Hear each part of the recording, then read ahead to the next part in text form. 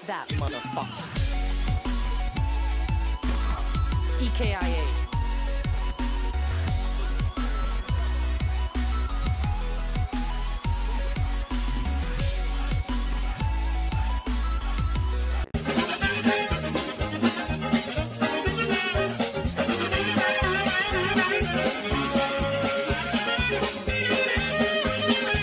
This is my favorite part, right here.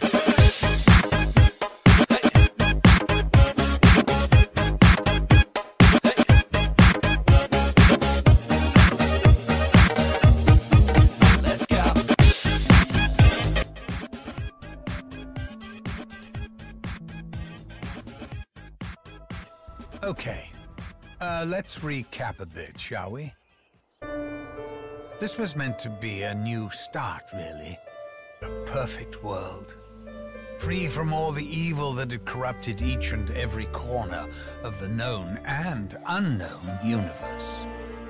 It was going to be a place of safety for the kids, the little yous. You little... Well, so far, so good. But things started to go wrong soon after you arrived. Now, I can understand your initial shock coming face to face with Maxis, especially after so long. But you did the right thing. You followed the plan. You brought the summoning key here, and you destroyed that bloody machine once and for all.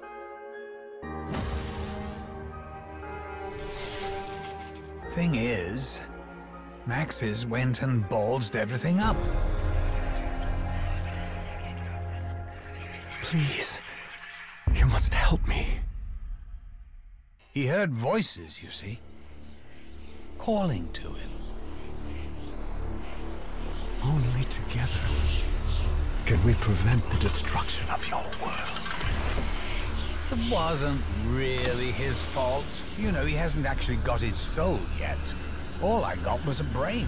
Anyway, the key thing, as in the thing that is key, is that Max has fiddled around with the summoning thingamajig and accidentally released an even bigger bastard. Someone even I didn't know was in there. The Shadow Man. The one and only original Harbinger of Doom.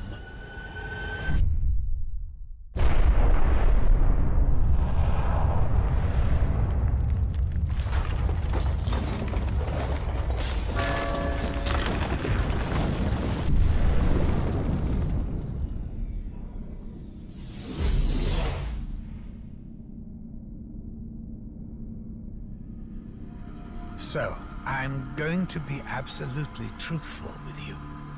Things have got way too far out of control. This isn't any vague woo evil. We're talking about the Apothicons. The most powerful and evil entities in all the existences that ever existed. And now they're here, in our perfect world.